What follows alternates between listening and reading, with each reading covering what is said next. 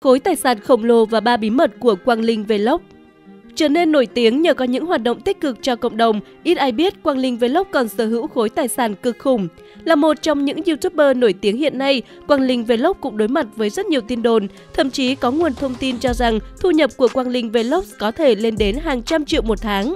Vậy thực sự Quang Linh Vlog sở hữu khối tài sản ra sao? 1. Có lượng fan hùng hậu Quang Linh Vlog đã gửi đến người dân trong nước và bạn bè quốc tế về những trải nghiệm chân thực và đầy tự hào của một người Việt sinh sống và giúp đỡ những người khó khăn ở nước bạn Angola. Cũng vì thế mà kể từ lúc về nước đến nay, Quang Linh Vlog nhận được rất nhiều sự mến mộ từ mọi người. Anh hiện sở hữu kênh YouTube chính mang tên Quang Linh Vlog, cuộc sống ở châu Phi, hiện đang có hơn 3,43 triệu lượt đăng ký. Đồng thời, Quang Linh Vlog còn sở hữu một kênh khác mang tên Nông nghiệp Việt Nam ở châu Phi với con số subscribe cũng lên tới 1,19 triệu lượt. Có thể nói sức ảnh hưởng của Quang Linh Vlog là không hề nhỏ khi mọi bài đăng của anh đều thu hút hàng chục ngàn lượt like, share, không thua kém idol đình đám nào. Để có được vị thế như hiện nay, Quang Linh Vlog phải trải qua rất nhiều gian nan. Trước đó xuất hiện thông tin cho rằng nếu tham khảo theo trang thống kê Socico Black, kênh YouTube chính của Quang Linh Vlog có thể thu về 65.000 đô la, 1,4 tỷ đồng và thu nhập hàng năm tối đa lên tới 780.000 đô la, hơn 17,7 tỷ đồng. Trong khi đó, kênh phụ của anh chàng thì thu về khoảng 3.200 đến 50.900 đô la một tháng, tương đương 744 triệu đến 1,1 tỷ đồng. Những tính toán của SoulCycle Black cũng chỉ được đưa ra theo hình thức ước đoán và có biên độ dao động cực kỳ lớn. Chính vì thế đã có lần Quang Đình Vlog lên tiếng phủ nhận thu nhập trăm triệu một tháng. 2. Chủ tịch một nhãn hàng lớn Vừa qua, Quang Linh còn vừa chính thức được bổ nhiệm chức vụ Phó Chủ tịch một công ty cổ phần chuyên phân phối độc quyền nước hoa tại Việt Nam. Đồng hành cùng Quang Linh và Hoa hậu Thủy Tiên đang đương nhiệm vị trí Chủ tịch.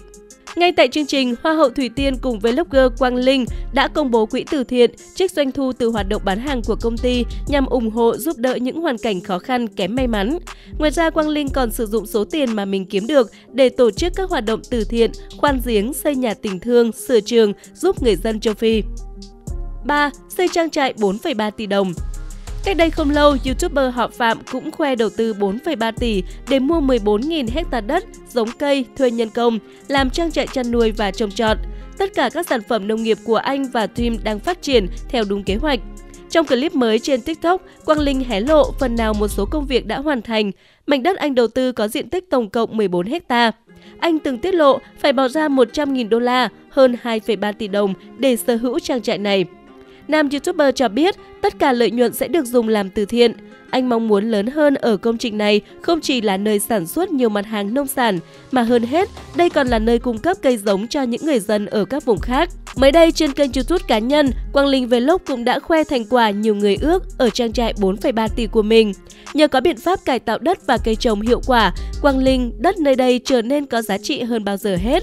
Đặc biệt với giống ngô nếp, do khó trồng trên mảnh đất này nên họ đã phải phun thêm thuốc kích rễ giúp cây ngô mọc lên chắc khỏe hơn. Anh còn thuê thêm 4 bảo vệ để canh gác, đảm bảo việc sản xuất kinh doanh tại nông trại được an toàn. Angola có rất nhiều công ty bảo vệ nên việc thuê cũng dễ dàng. Số tiền thuê cũng rẻ thôi, bảo vệ một tháng là khoảng 12 triệu đồng, Quang Linh cho biết. Các bạn nhớ nhấn đăng ký để nhận thông báo về những video mới nhất của chúng mình nhé. Xin chào và hẹn gặp lại!